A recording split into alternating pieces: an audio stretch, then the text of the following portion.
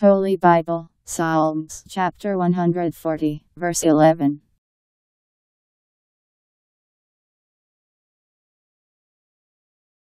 Let not a man of evil tongue be safe on earth, let destruction overtake the violent man with blow on blow.